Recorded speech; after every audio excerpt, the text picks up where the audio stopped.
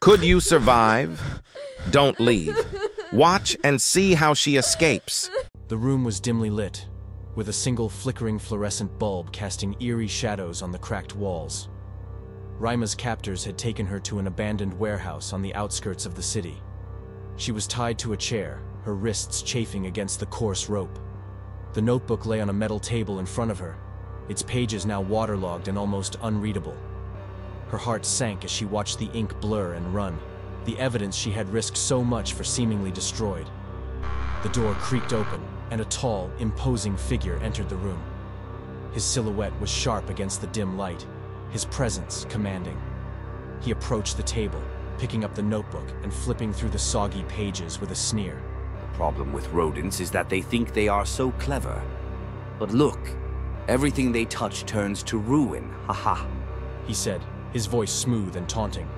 Raima's eyes blazed with defiance. People will know. She spat. You can't hide the truth forever. The man chuckled, his laughter cold and mirthless.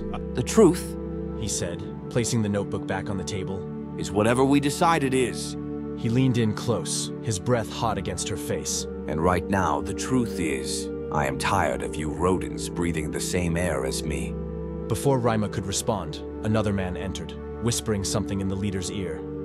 His expression darkened. He straightened up and turned to Raima, a sinister smile playing on his lips.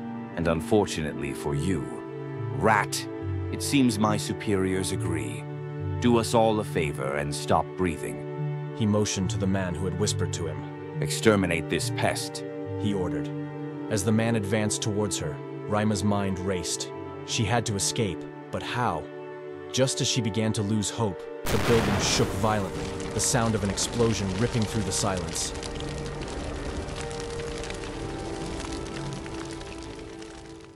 Things are really getting interesting, huh? It would mean a lot to us if you liked and shared the video. Click on the profile to see it and more of our engaging stories.